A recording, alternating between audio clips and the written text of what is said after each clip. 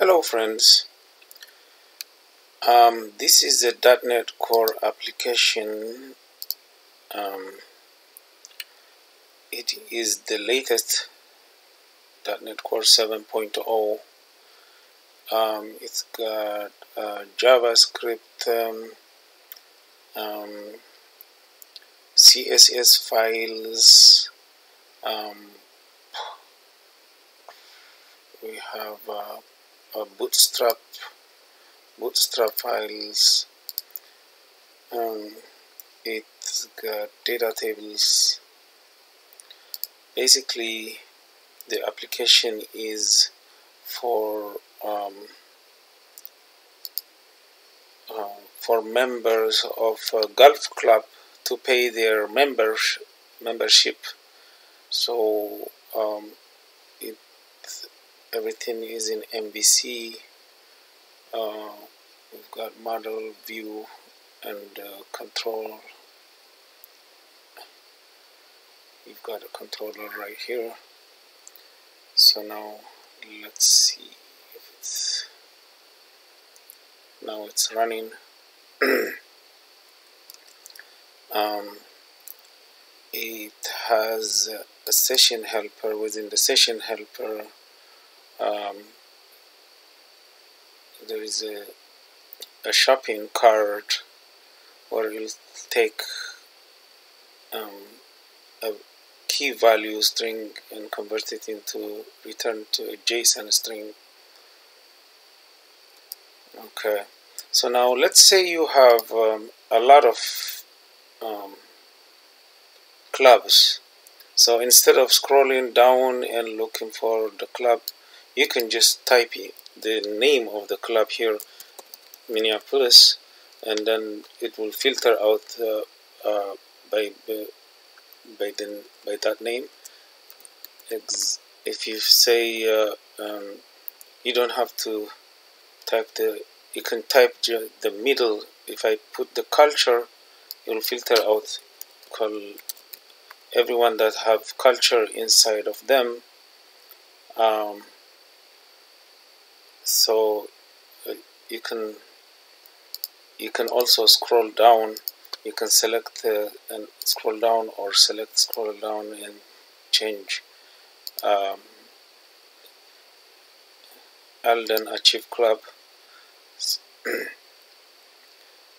So I'm going to choose the Ada Natural Club. Now I have um, a num I have these members in that club um, shows you all the members. This you can display all display display 10 you can display 5 of them. Um, you can also um, export this into into print and then it will display the logo on the top the logo and then it will display uh, it will print these members. Um, let's cancel this. And uh, if you want to export it into PDF you can export also export it into a PDF that will export it into PDF with the logo on the top and will display all the members in in this PDF file. You can also export it into an Excel file and that will also you can I, I can open the Excel file. This time it's not going to um, it's not going to display the image on the top will just display you will export this excel file just the members in there. Okay let's cancel this. Now export works. Um, um, you can there are also CSV export. Um, if I also want to import from a file if I have a bunch of an Excel file so let's say I want to import this file let's go to um, I have this file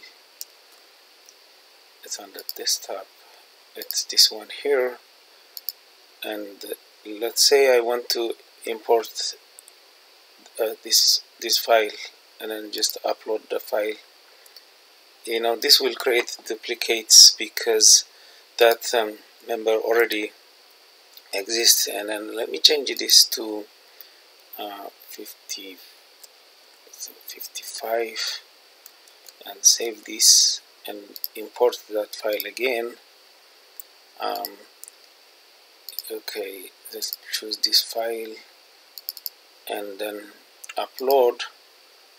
It has successfully uploaded that excel file and and then the person is uh, Lula um, Lua and then I can search for that name here. Lua is here. Um, just it was previously uploaded but uploaded two times. Now um, this search engine is very powerful. Uh, okay I can okay so finish this um, I can search by um, any of these fields. Let's say I want to search by phone number 7 it will filter all the numbers that have 717 if I want to filter by um, um, any of the fields if I want to filter uh, first name I can just filter by first name that will filter it by first name. Then then also if I want to filter by um, last name I can filter by last name. I can also do a combination of first and last name. Um, let's go do this. And uh, let's say I I only spelled J J A N J A N and then it will filter that by that. Um, if I say um, see I, I don't have to spell everything. So J-A-N-D-U filters by this Jacqueline Duncan. Okay okay. Now uh, the purpose of this is um, you can you can select all all members um, you can select all members and then add them to the shopping cart um, or you can and you can select all members and add them to the shopping cart. Um, this, this member this member uh, has unconfirmed payment so you cannot add that person because uh, the person has already paid but it's not being confirmed. But you can add the rest of the people in there. So when after I have selected them then I can add them to my shopping cart and all of them has been added to my shopping cart. There are 104 of them. Um, so let's display all so all of them has been added to the shopping cart. So let's say I want to um, remove all I can remove one selected. So beta acosta has been removed. There's an alert on the top and I can remove that one by one.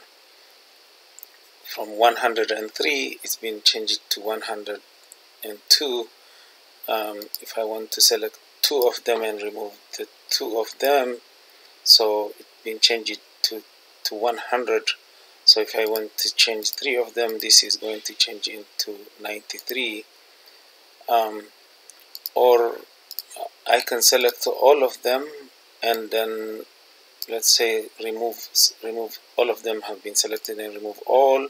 All has been selected and now I don't have that shopping cart in here anymore. So I can add one by one also. Betty Betty Ann Acostan has been added to the shopping cart. There is Betty Ann Acostan. And I can add one more. I can go back and add Eleanor Aguirre. And that's been added. And and then I can go here and then edit um, edit that person here. Um, so now I can put in a phone number in there okay. Say 651 okay. So I can add a phone number here um, and then I can go into the payment information. I can change the phone number of the payment.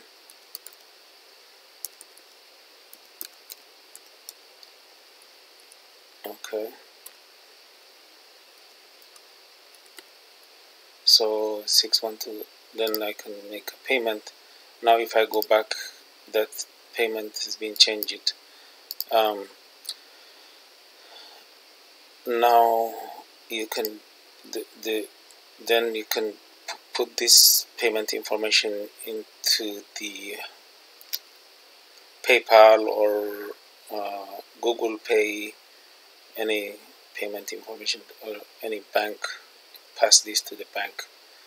Um, now when I'm here also I can import I can import from a member from another club to this club.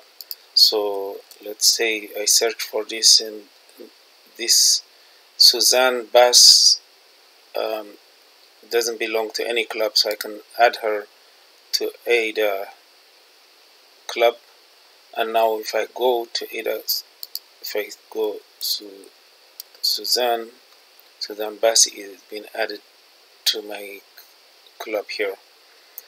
Um, but if I go and let's go let's go pass here and I, I want to add that person again she's not there uh, because it's been she's been added to that club. I can I don't want to add her again this also is um, completely mobile responsive. So let me open this into a new window. Okay, let me open this to this window here. Um, there's this that will allow me to open. Now let's start from the beginning. Um, um,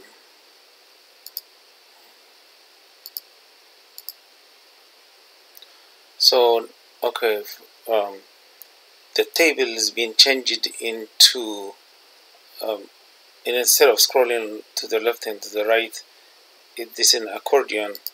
I can expand this and and I can add one at a time. This is how it's going to look like on um, on this mobile uh, diff different kind of mobile will respond. Then the menu is also different. Remember this menu was um, this menu here is if you go back here you see the menu on the top is like this uh, but the menu here is a pull down menu. It's not the bar on the top. So that um, it works uh, just like the others uh, can go to any of the uh, forms. Um, I can go to add again. So I can do a search. The search also works. Um, I can go and if I say hey, I will filter by that. Um, the uh, um, I can do um, import and export um, oh, okay this this won't open preview in this um,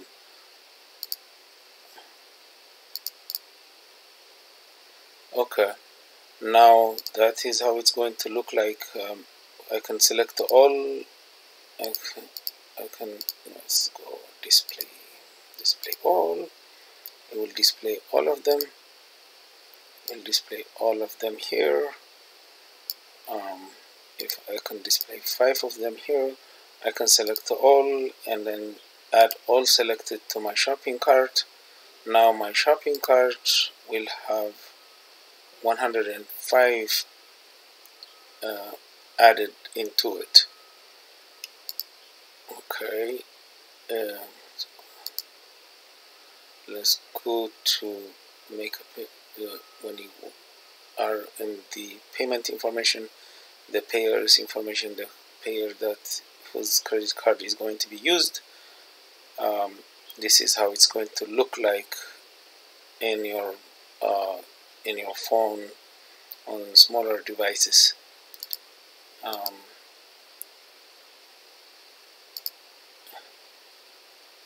it is completely uh, I can import a member and then I can import this member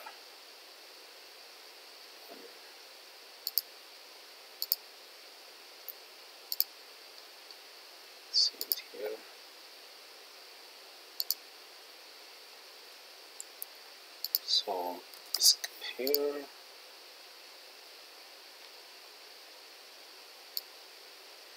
So I can import this member to the table. Okay. Um, the image also is is responsive. It becomes smaller on the on the smaller devices so everything works um, and it's also responsive. Okay.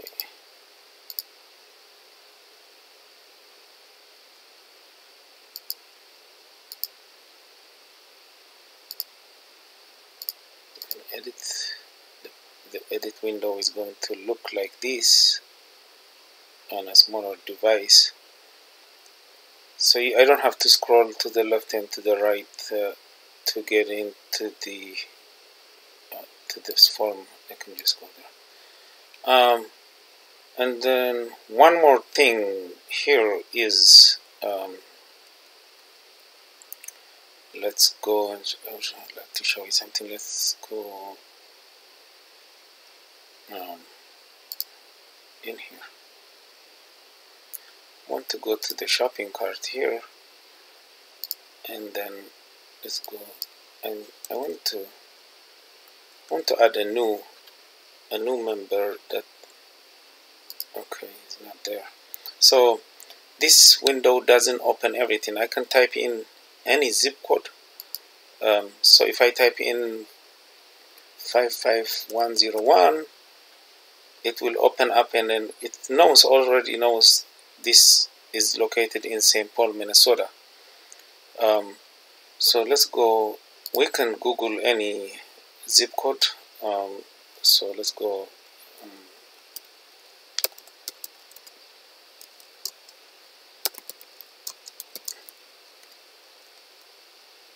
let's go zip code of Hawaii and then let's type this zip code in there.